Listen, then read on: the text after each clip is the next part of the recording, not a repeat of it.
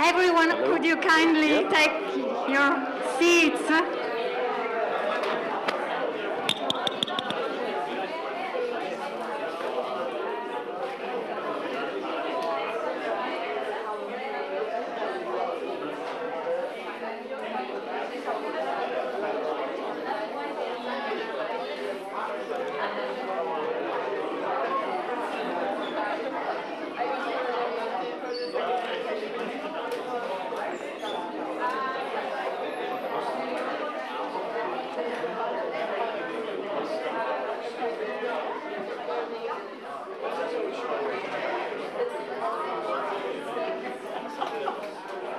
I know it's late, guys. I know you're tired. It's been a, a really long day already. But uh, uh, please uh, take your seats and uh, we will have another interesting presentation, the last for the day, before we set off with uh, a little introduction to the group projects. So, um, lecturers.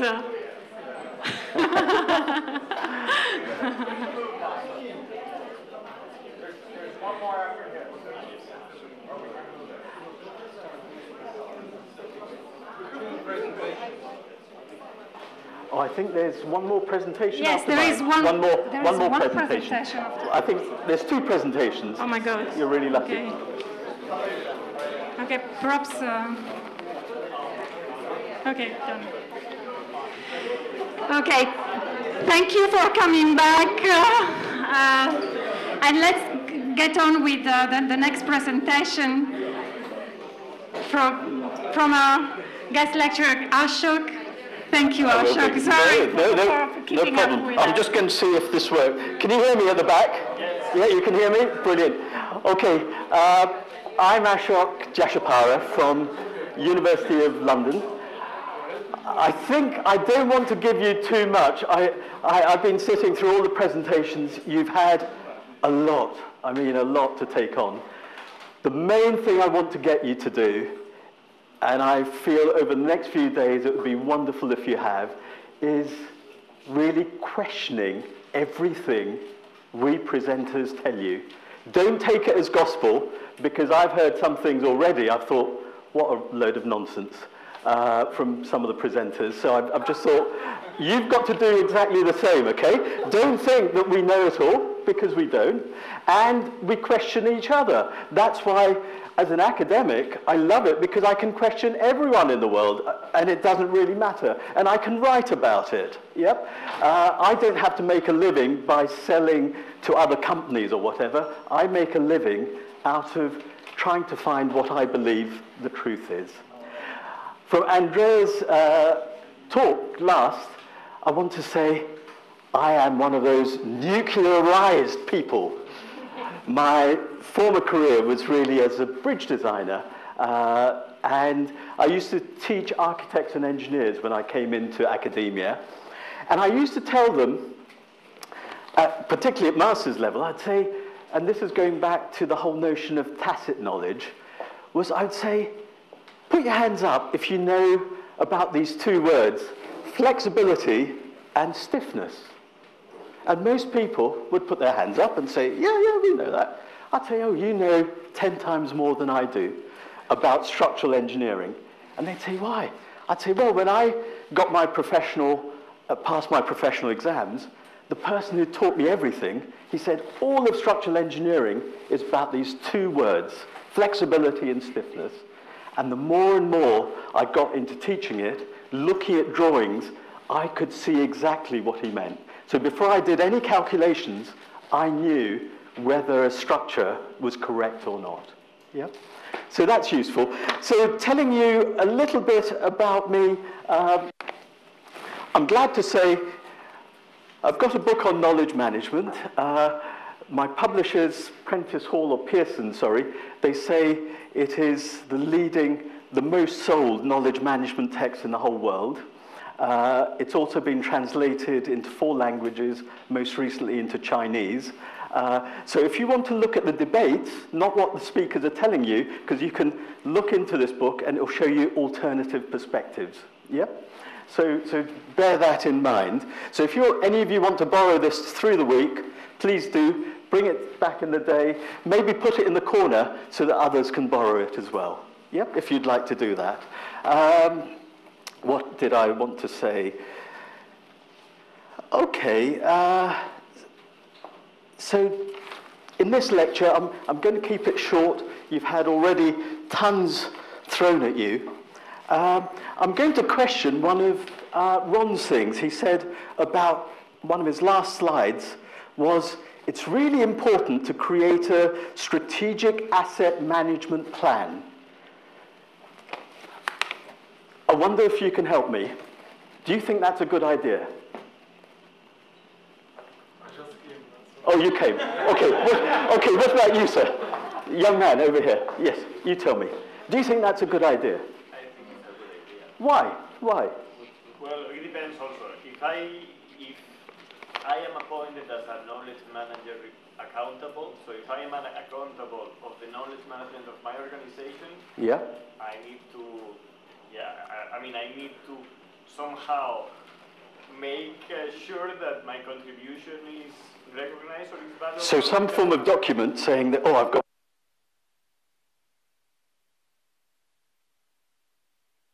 what is your what is your work, what are the work weaknesses, what are the, the steps that you have to, to take or the actions that you have to take. Okay. Can I ask the lady over there? Can you help me out? Yes. Could you? Could you just sort of help me just by saying, why do you think it may be a terrible thing to do? Why do you think it could be a terrible thing? And part of my lecture today is going to tell you why it's a terrible thing to do. okay, you help us. Thank you. Well, I would think it is a terrible thing to do because thinking in a, in a scientific perspective, I think from the time that you get that document, prevent the other person, the implementer, from thinking. Okay. It kind of keeps them in the box. And Yeah. They just can't think, they just follow that very perspective, and then it might not be applicable Okay. every. Yeah, that's fantastic because in a way that's what I'm trying to get at within this very short talk is really saying that if you go, all of you, let's say you all decide to do an MBA, if you do strategic management, what will they teach you? It will be 90% of the time, we'll look at all the strategic planning processes, but when you go to organizations and you say, oh, can I have a look at your strategic document from last year from the senior management team? They'll say, oh, yeah, yeah. Look, we've got a big document, all the senior directors, they've all signed it. So then you say, ah, how much of it was actually realized? How much of all this stuff did you actually do? And they'll say, oh, well, 20%, 10%, not much often. So often people can get into this whole notion of strategies of feeling, oh, fantastic, because they have a nice document. But often when you go to organizations, very little of it is realized. So I'd just say bear that in mind because most MBA or strategic strategy texts will tell you all about the fantastic planning processes, scenarios planning, SWOT analysis, critical success factors, and so on, but not necessarily how to realize those strategies. The implementation, which I heard we'll be hearing more about um, uh, through this course. So, oh, this is an old one of mine. Sorry, I, I'll I'll have to, I, I had put another one together because I realized it's got too many slides, so you'll see me going through it.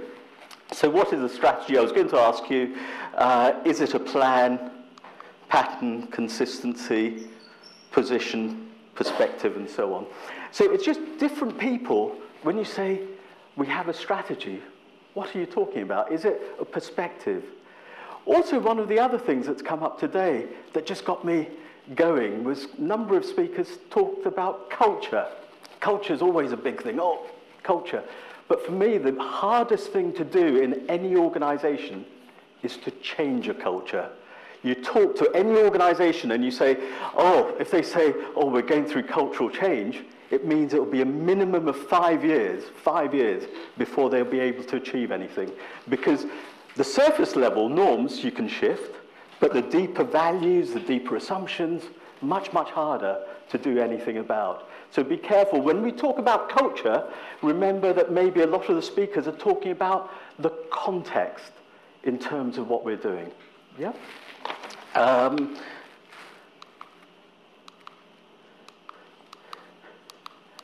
hang on. I'll, I'll forget. Sorry, it was a wrong presentation I put. Yes, so this, this, this is really uh, what I was trying to say, that there's a lot of organizations and very large multinational organizations who go into strategy as a plan. Okay, so we were hearing from Andrea in the last talk of saying, oh, some of the uh, objectives of nuclear knowledge management is about uh, operational uh, issues, organizational performance, innovation, safety standards, and so on. They may be our objectives, and then the strategies are what help us achieve those objectives. So either the most common way of looking at strategies is some form of plan, and because people have a nice document, they get really secure feeling, oh yes, we've got a nice plan. So they have a deliberate strategy and intended strategy, but more common than not, a lot of it goes unrealized. Yeah? However, there's another gang, and we'll look at some of the different schools of thought, because where I'm getting to with all this is really trying to bring you on board with what people call the knowledge-based view. So Ron talked about knowledge-driven firms, where those firms, organizations see knowledge as a critical asset of saying, how do we get to that knowledge-based view? And also, what are some of the disadvantages of it? Just because we all happen to be in a nuclear knowledge management conference doesn't mean it's all uh, lovely and wonderful. There are disadvantages of it as well. Um, so, just very, uh, I'm not going to go through these slides, you, you, you'll have them on your thing, but I'm just going through some of the schools of thought to do with strategy. And one of them, the design school, says, okay, if you're any organization, you do a SWOT analysis. Look at your, internally your strengths and weaknesses, look externally at your opportunities and threats. So, so that's one school that you'll do. I'm going to see if I can somehow really whiz through some of these slides because I want to get onto the really interesting stuff without wasting too much time. Uh, let's move to some of the interesting stuff. Oh, this is slightly interesting. You may have come across this uh, notion.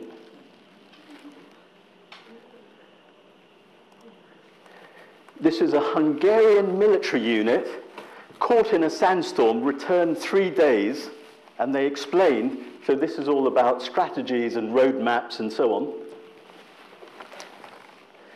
Yes, they said, we considered ourselves lost and waited for the end. And one of us found a map in his pocket that calmed us down. We pitched camp, lasted out the snowstorms, and through the map we discovered our bearings. And here we are. The, the lieutenant who dispatched the unit borrowed the remarkable map and had a good look at it. He discovered, to his astonishment, it was not a map of the Alps, but a map of the Pyrenees. okay? And this is a true story. So saying, look, you can have the right map and get there, but or the right plan, but it doesn't necessarily mean uh, you'll get there. What I want to do was just get to my lovely. Uh, oh, yes, this is what I really want to get to.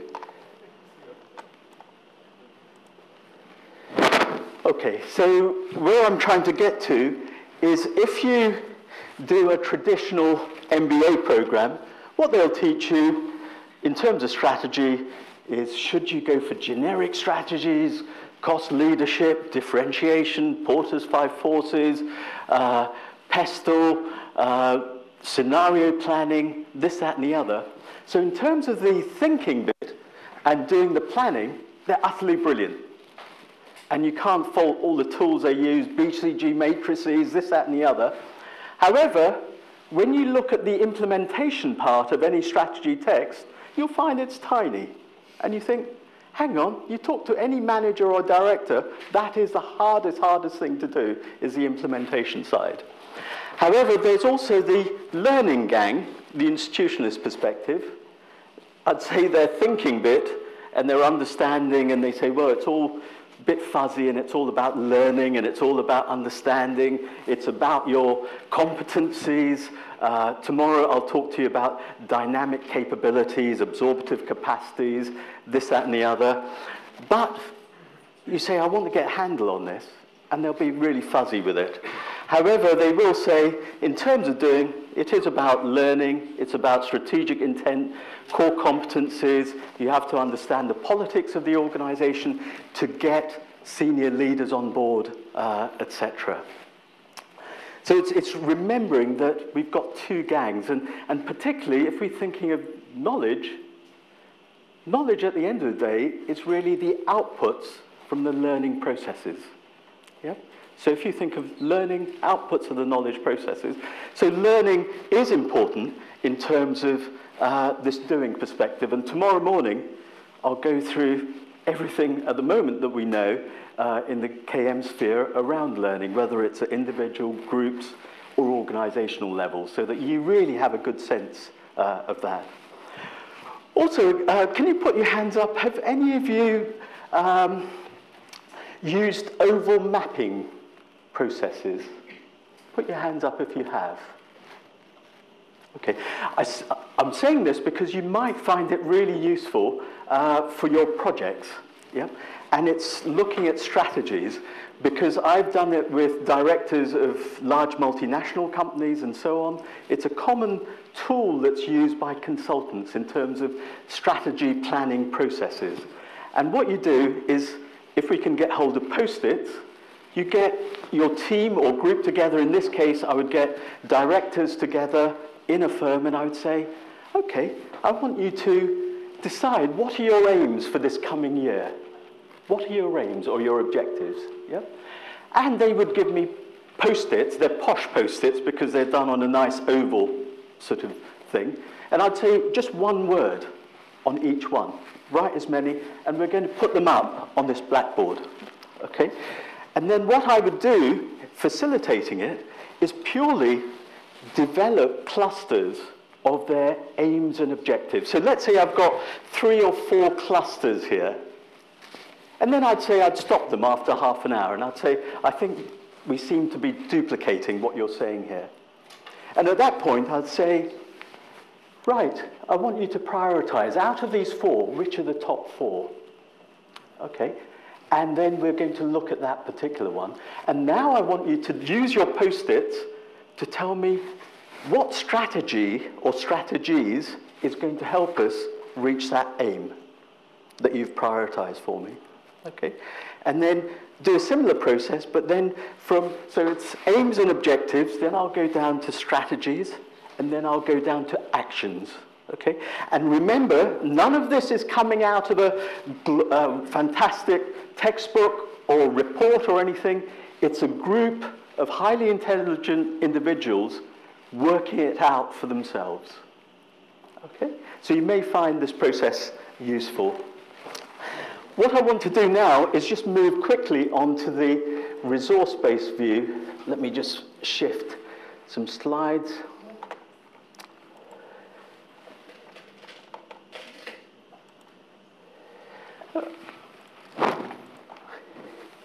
Okay, so really, um, there was uh, Barney and others who came up with the notion that to make you competitive isn't about having these amazing plans anymore. What it's about is the resources in your organization. Yep. And what they said, particularly not in the public sector, but in the private sector, to be uh, competitive,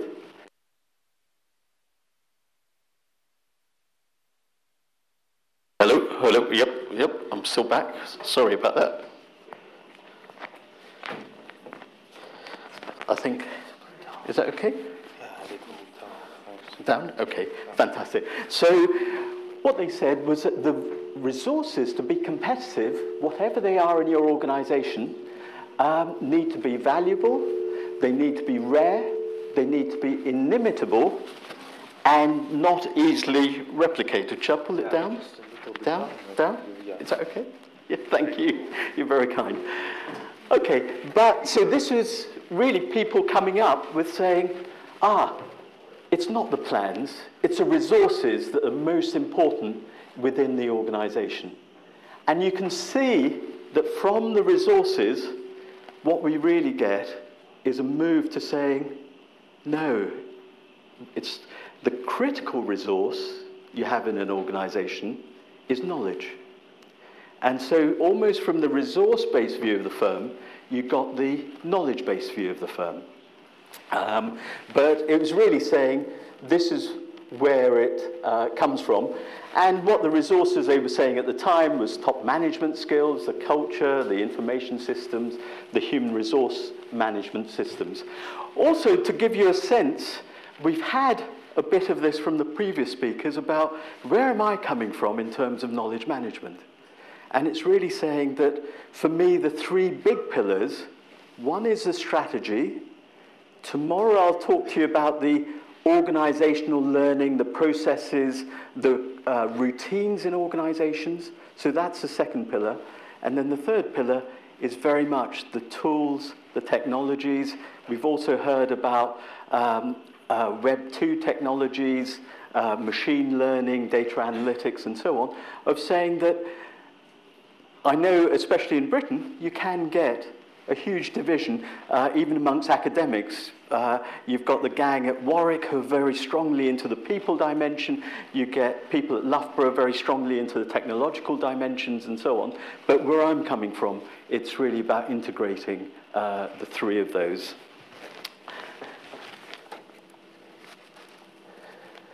Okay, it's really saying that you've got to remember that that's why I say the only thing I want you to take away from my talk isn't any of the content, it's to question everything. So you'll find that all my slides, if you go back online, I've put down criticisms of everything. Yep. Because you have to look at things critically. Uh, and that's part of, I think, personally, being a good uh, knowledge manager or knowledge official. So some of the criticisms about the uh, resource-based view is, how do you know which resources contribute to that so-called value that you're looking for, the competitive advantage, especially if it's a dynamically changing environment? How do you gain these resources if you haven't got them? Uh, if you're in different generations of nuclear uh, building and uh, capacity building, uh, uh, especially? And how can firms compete if they deny the importance of those market conditions, which is what the planners uh, tend to focus on in a way? So the knowledge-based view was really pushing this whole notion that, look, it's about uh, knowledge, the key competitive force. It's about both the technological information system side, uh, as well as things like communities of practice uh, that we've heard about today. Knowledge sharing is important, and the primary task is to integrate that knowledge uh, between people, product, and services. Okay, I won't, I won't do this. I'll escape from that. Okay, and then I think my last slide, almost, I'd like to uh, show you, is really saying that what's happened is that also within my book, I've put in 10 case studies of different organizations, public and private, throughout the world. And they have developed very different knowledge management strategies. Some have uh, pushed almost the technological side of their knowledge management strategies. So uh, people like Royal Dutch Shell, they go in for what's called codification strategies, where they say, we're much more interested in the uh, technology, we're looking at the explicit knowledge. We want to develop wikis for everything that we do. So because 70% of their workforce is away from home at any given time, we want everything on wiki so that everyone can get access to this. However, you'll also see, and I'm praying that for my session tomorrow on the World Bank, which I'm going to hope is highly interactive, that you'll have read it, but you'll also see that they go in much more for a personalization strategy. It's very much people led, it's around how do we support that tacit knowledge development within an organization. Okay, and then just I suppose one last one is really saying that uh, I was really arguing here of saying, exploring if organizations are into things like we've heard about productivity today, efficiency today, slow market conditions, is it likely to be more of a codification strategy where, it, where basically they're doing much the same thing that they've done for a long, long time? Or are there rapid market changes where people have got to innovate, and if they don't innovate, they're likely to die. So in which case, they may choose more of a personalization strategy rather than a codification strategy. Okay, have I gone over my time, or am I okay? You're doing great. Fantastic, thank you. Brilliant. Some questions from the floor. yes, please. About uh, documenting the strategy or not. Okay, yep, documenting it or not, yeah. If I didn't document it, so I will miss the information. Yeah. Who the previous? yep. If I miss the documentation, so I don't know the previous uh, Sure. did what. It's like what, what, all I was doing was sort of being provocative by saying that most organizations will have some form of plan. They'll have some form of strategy, some form of document of saying this is what we're trying to do. Yep. All I was saying is that some organizations treat it like the Bible or Quran or whatever, of just saying, that is it. Yep. And they forget about the implementation of it. Yep. So you'll find that a senior management team, what they'll do is they'll spend two or three months almost justifying their existence by creating some huge document and then feeling happy of saying, oh, let's pass it lower down into the organization and everyone's got to implement this. This is actually. Um, Yeah. My experience, uh, what I've noticed that uh, the ones who are developing strategies are not the ones to implement. Ima- So there is a right. big gap, you know. Even actually, you guys today, the ones who are presenting, you're Yeah. not really implementing. You know what I mean?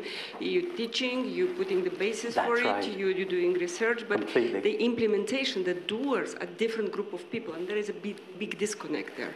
That's right. No, and that's why I say that implementation is much harder. And when you're implementing it, first thing you need to get is senior management support. Because if you haven't got it and you're at a lower level, it's very, very hard to implement anything. And at senior management level, if you haven't got almost some form of em- involvement with different employees, it's very difficult to implement it because if you're just shouting at people, you've got to do this, you've got to do this, people who are knowledge workers are not likely to listen to you. They're likely to sort of say, no, I'm not going to do that, thank you very much. Yeah? In which case, what I was trying to say at the beginning of the talk is that the strategy or the plan remains unrealized rather than realized, yeah? Okay, which is sad. thank you. Um, I, I, I like um, what you, you want us to be, to be critical, Of course, yeah. right? And uh, I really like that you said it. And, um, but, but then, how can you be a good critic? When, when do you draw the line between being critical and being a nuisance? Yeah, uh, th- that's a really good question because being too critical can be very destructive as well. Because I've seen people in my own organization at different universities and so on, where no matter what you say, they've got the brains to basically critique anything. yep. But you just have to say, right, we need as a group of people to come together and develop a consensus. Yep. This is where the whole issue of dialogue and discussion that we'll explore tomorrow in my talk will come in. Yep. Of really saying, look, we've got a job to be done. And so, for example, as a leader, you may open a major um, course of action for implementation for, let's say, three months where you got talking to lots of people. And then you say to people, look, we've spoken about this for three months. I've heard all your views. Now it's time for action. Yeah? And at that point, it's just saying, we need to move on. Yeah. Okay.